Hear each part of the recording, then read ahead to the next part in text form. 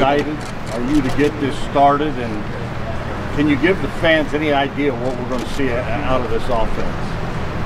Yeah, so I mean, this is what we come here to do. I mean, it's been a long time. Uh, it seems like from the last game we played. So uh, you know, you used to tell us that you know we had to wait another you know, two weeks. I feel like we would go crazy around here because we was ready to go play a game and compete at a high level. Um, as far as our offense, I think um, just a really up tempo uh, offense.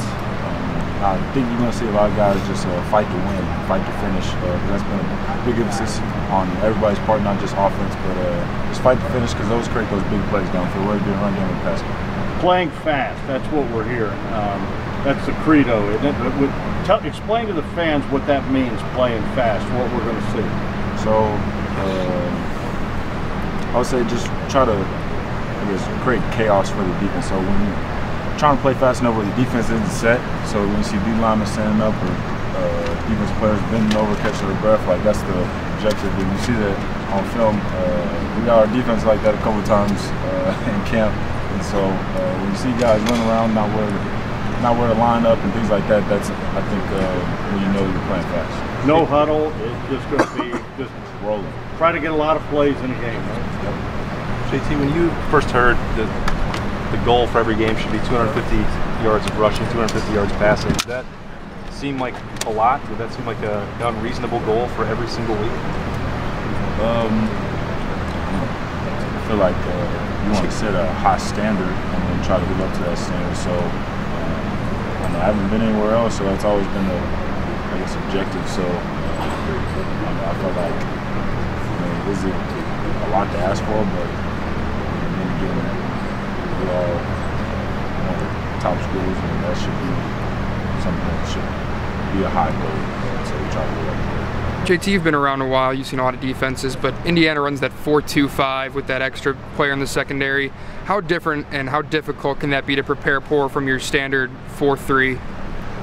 Um, I would probably say um, with a kind of hybrid type of guy, understanding that he can't play coverage. Uh, so just making sure that uh, we used to count for him all the times and know that he's not just a, a matchup that we could, you know, exploit things like that. So kind of know where he's at on the field. Uh, like I said, because we do like to blitz him, uh, just know where he's at, make sure we account for him uh, and run the pass What have you seen? How, how valuable has uh, Coach Wilson been as far as insight, maybe just almost individually on what Indiana's players are capable of from a defensive standpoint. How much, how valuable has that been preparing for an opener like this?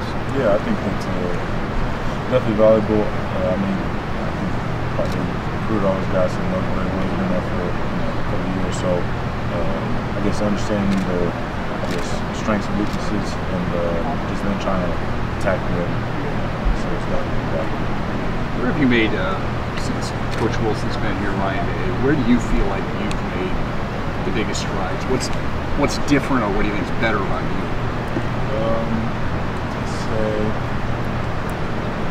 uh, get back to timing, and then uh, timing with I guess the offense and the pass game, and then uh, also to be uh, just throwing while you have to test the receivers.